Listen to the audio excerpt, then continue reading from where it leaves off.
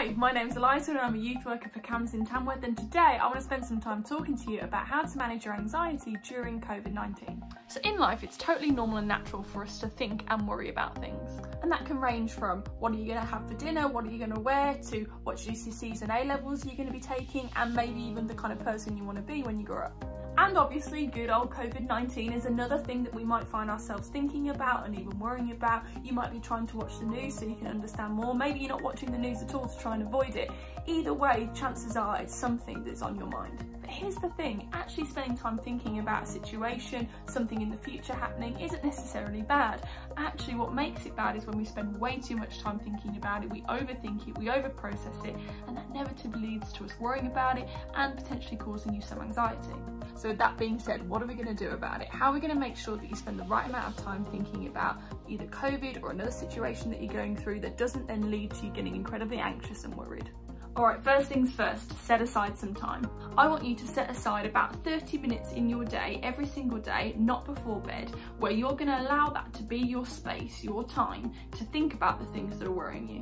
And make sure that space is safe for you. So whether that's gonna be in your bedroom, outside in the garden, in the kitchen, it doesn't really matter as long as it's a place where you feel comfortable enough to start opening up about your thoughts and your feelings, whether that's gonna be you writing them down or you're doing some drawing or artwork. It's important that in that moment, you're taking the time to think about what is worrying you and putting it down in some way, shape or form.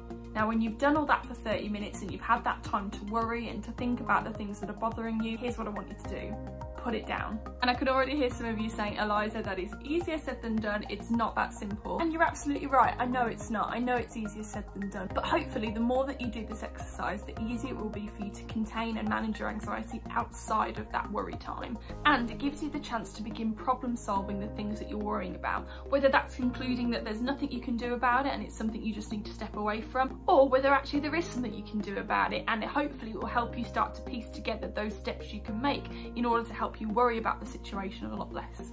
Just make sure that outside of your worry time, you're using things like positive distraction techniques and mindfulness to help keep your mind off the things that you're worrying about. You also might want to start filtering out some of the information that you get around things like COVID.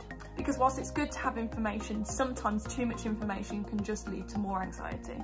So maybe get your friends and family to start filtering out that information for you, only giving you the information that you need as opposed to maybe giving you the full picture.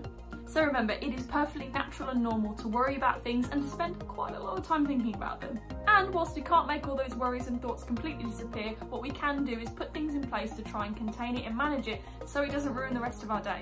So if you do want to know more about things like positive distraction techniques or mindfulness, we'll pop some links in the description box below for you to check out. Thanks so much for watching and we'll see you soon.